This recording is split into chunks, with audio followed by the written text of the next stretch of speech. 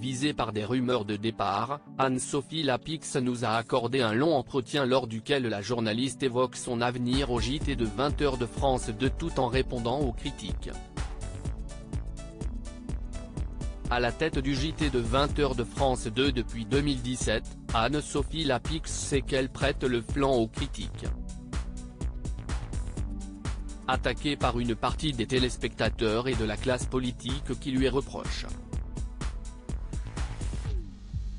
sa pugnacité en interview lors des dernières élections, la journaliste de 50 ans était visée par des rumeurs de départ depuis plusieurs mois.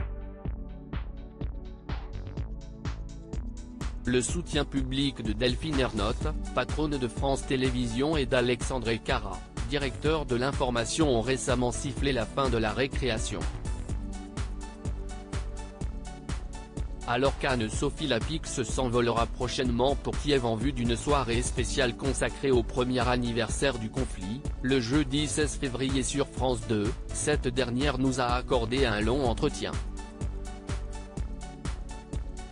Cette spéciale Ukraine est un moment très fort pour la rédaction Télé Loisirs, à quoi va ressembler cette soirée spéciale Ukraine sur France 2 Anne-Sophie Lapix, je partirai avec une équipe le samedi précédent pour revenir le vendredi. La soirée s'ouvrira avec le JT de 20h. Je serai en direct de Kiev. Suivront Élise Lucet avec envoyé spécial, Caroline Roux avec l'événement, Tristan Walex avec complément d'enquête et enfin Léonore Gay pour nous les Européens. Sur place, nous tournerons plusieurs reportages sur la vie des Ukrainiens en temps de guerre. Cette spéciale est un moment très fort pour la rédaction et plus particulièrement pour les envoyés spéciaux qui couvrent le conflit avec courage. Délocaliser votre journal à Kiev s'imposait J'ai présenté un JT depuis l'Ukraine en mars 2022, deux semaines après le déclenchement de la guerre. C'était un moment très fort. Un an plus tard, il était important d'y retourner, notamment pour montrer notre solidarité vis-à-vis du peuple ukrainien. Qu'est-il prévu si une alerte compromet votre prise d'antenne? Cela avait été le cas l'an dernier à Lviv, une heure avant le direct qui avait pu être assuré de justesse. Nous ne serons pas sur le front, donc la situation sera beaucoup moins dangereuse que pour nos reporters, mais le risque existe. En dernier recours, Karine Bast prendra le relais depuis Paris. Les sujets seront en boîte et les duplex avec nos reporters pourront se faire. Les mensonges à propos de notre JT me mettent hors de moi. L'année 2022 vient de se terminer, avec une période électorale intense. Votre style d'interview a été critiqué, dans la classe politique et par une partie du public. Comment l'avez-vous vécu? Je n'ai pas été surprise. Le 20h est un lieu de forte exposition, surtout en année électorale. J'entends les critiques mais j'essaie de ne pas me laisser influencer par celles qui sont orientées politiquement. Comme elles viennent de tous bords, cela crée un équilibre. Elle rit, suite à des messages haineux, vous avez fermé votre compte Twitter en 2020. Envisagez-vous de le réactiver? Pas du tout.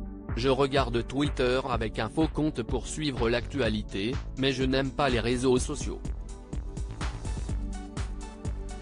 Quelles attaques vous touchent le plus? On ne s'habitue jamais vraiment.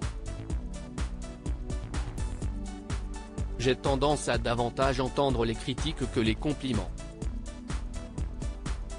Les commentaires sur mes interviews, ma famille, ma façon d'être ou sur mon physique glissent au bout d'un moment.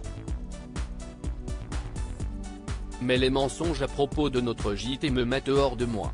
Quand on présente le 20h, on vit l'histoire en direct on vous a reproché de trop sourire. mon sourire a pu être perçu comme un signe d'ironie ou de moquerie. Même si ce n'est pas le cas, j'essaie de gommer ces expressions qui peuvent être mal comprises.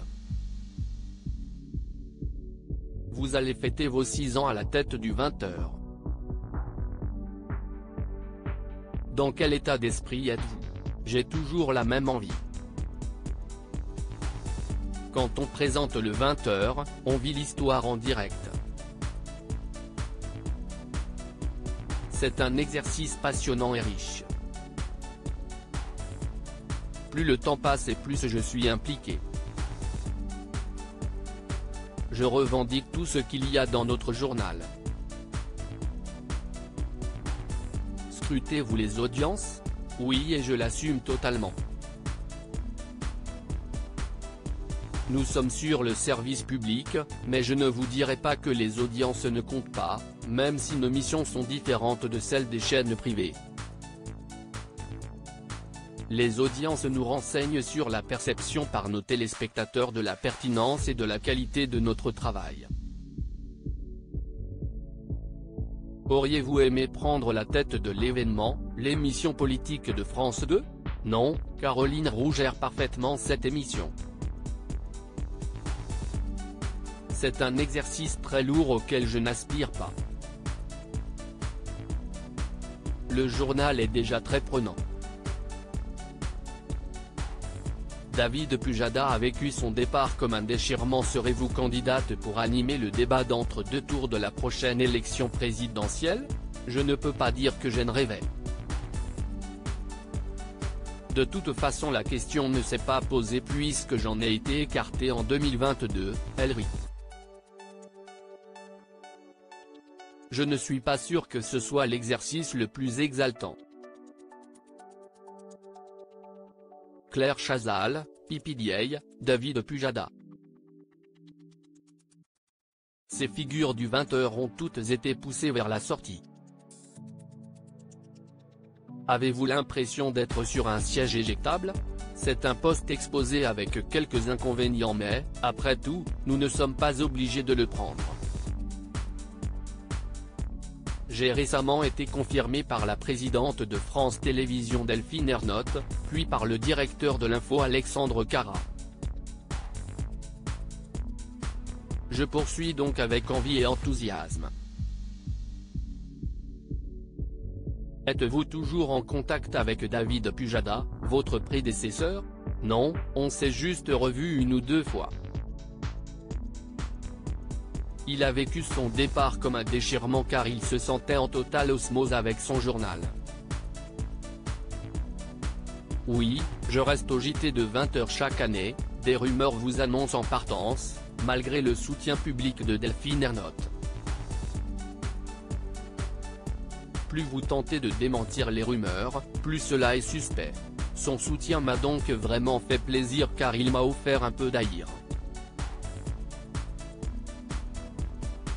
Nous confirmez-vous que vous serez bien aux 20h à la rentrée? Oui. Vous évoluerez sur un nouveau plateau, a priori plus petit Un plateau qui permettra une plus grande proximité avec le téléspectateur mais je ne peux rien vous dire. L'actuel donne parfois une impression de froideur. Une réflexion est également en cours sur le plan éditorial.